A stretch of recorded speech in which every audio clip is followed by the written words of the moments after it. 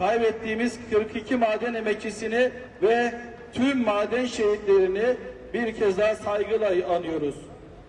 Yer altında çıkarıl çıkarılmayı bekleyen 1,5 milyar ton taş kömür rezervimiz var. Bu rezervi yer üstüne çıkartıp ülkemizin sanayisine kazandırma zorunluluğumuz var. TTK mekanize ve yarı mekanize çalışmaları üretim ve verimlilik adına olumlu gelişmelerdir. Zor şartlarda üretim yapmaya çalışıyoruz. Biz madenciler iş sağlığı ve güvenliğinin tam anlamıyla sağlandığı çalışma şartlarında üretimi, artma, üretimi artırmak, ülkemiz ve milletimize daha çok hizmet etmek istiyoruz. Öncelikle iş sağlığı ve güvenliğinin emek eksiksiz sa- sağlanabilmesi ve üretimin artırılabilmesi için işçi açıklarının acilen giderilmesi gerekiyor.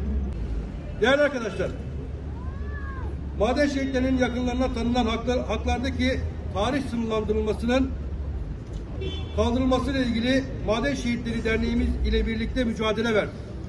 Amasya kazasının ardından ilgili yasada yapılan değişiklik mecliste kabul edildi ve tarih sınırlandırması kaldırıldı.